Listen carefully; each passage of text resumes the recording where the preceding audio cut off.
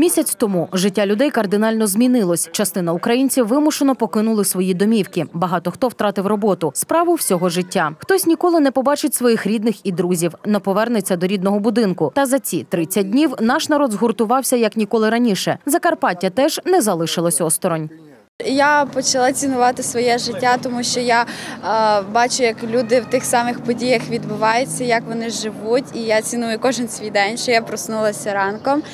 Мені дуже шкода людей, які то переживають ті події. Я хочу допомогти їм якось. Я також працюю волонтером. Я допомагаю і вважаю, щоб кожен долучався до цієї допомоги, щоб кожен допомагав. Відчуття жахливі. Моє змі... життя не змінилося. Як працювали, так і працюємо. Підтримуємо армію, переселенців як можемо. Все буде Україна. Дуже змінилося. Ми е, должны были из Киева приехать э, в Мукачево, в другой город, в другой регион. Это с ребенком. Э, и, ну, конечно, переживаем все. Очень-очень изменилось. И жить постоянно в каком-то страхе, в каком-то неведении, это очень страшно. Мені дуже шкода, що наша країна потрапила зараз в такий ну, нехороший час для нас всіх.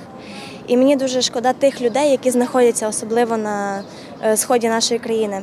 Я працюю ніби волонтеркою, і я дуже бачу багато людей щодня, які стоять за допомогою, за одягом, за їжею, які стоять у чергах за талонами. Мені настільки шкода людей, що я просто навіть не можу передати.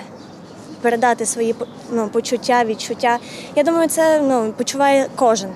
Протягом цього періоду країна сильно об'єдналася. Ми показали свою єдність усьому світу. Люди почали підтримувати один одного, іноді навіть поступаючись своїм комфортом заради незнайомих, але рідних по духу українців. Переселенці наголошують на привітності та гостинності закарпатців. Зрозуміло, да, всі друг другу допомагають, ну як тільки можуть. Ну такого єднання ну раніше ну на жаль не було, але зараз ну всі люди молодці і це відчувається. Дуже приємно бачити дуже багато добрих людей, які дійсно допомагають. Ну і дуже багато волонтерів. Ну це дуже приємно бачити. Вся країна вона зараз переживає нелегкі часи, і насправді саме зараз ми як один. Саме зараз проявляється наша єдність і наша сила як народу, як нації, і дуже важливо, дуже важливо, аби ми е, підтримували один одного, не забували про тих, хто знаходиться зараз в гарячих точках. Тут спокійно, тут прекрасно, тут привітні люди і класне місто, але наші родичі десь за кордоном. Звичайно, звичайно, це точно, що що влада не змогла за 8 років зробити, зробили росіяни.